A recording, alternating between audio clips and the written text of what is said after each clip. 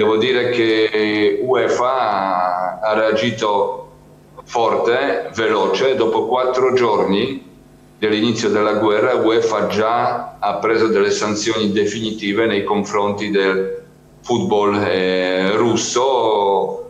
Ovo je tek početak ovog rata i teško je donositi sud ko je kriv, ko je učestvuje i koga bi bar za 4-5 dana mogli da osudimo, pa makar to bila i UEFA. Bonjek radi u jednoj organizaciji kao što je UEFA i oni imaju proceduru koja se poštuje uh, dugo godina i ovaj, oni kao organizacija ne mogu tu ništa da urade.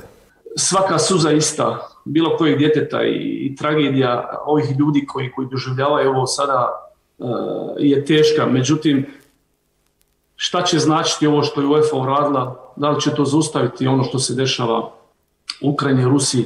Ako će zaustaviti ta stradanja, mi smo svi spremni odmah da ne igramo ni futbal, ni da, da, da, da, da se bavimo nečim drugim.